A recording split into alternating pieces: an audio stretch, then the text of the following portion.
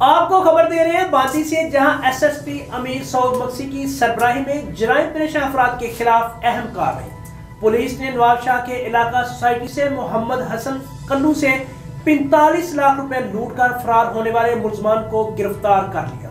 گرفتار ملزمان کے قبضہ سے سترہ لاکھ روپے برآمد کر کے مقدمہ درج کر لیا گیا، جبکہ ملزمان کے ساتھیوں کی گرفتاری کے لیے چھاپے مارے جا رہے ہیں۔ مزید تفصیلات جان لیتے ہیں رضوان علی رحمانی سے۔ جی رضوان۔ جی بالکل۔ ایس ایس پی امیر سعود مقصی کی سربراہی میں اہم کاروائی تین ملازمان گرفتار لوٹی گئی۔ رقم برآمد تفصیلات کے مطابق نواب شاہ کے علاقے۔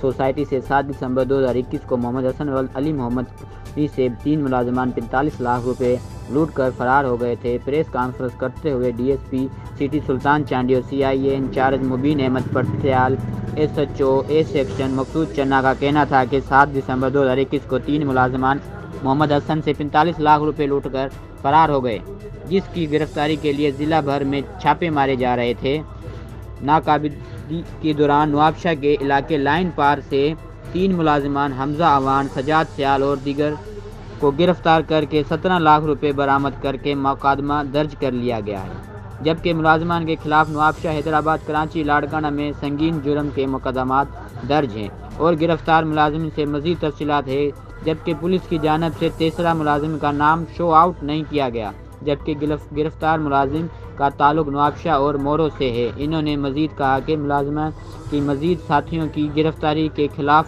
چھاپے مارے جا رہے ہیں۔ جی بہت شکریہ تفصیلات سے آگاہ کرنے کا۔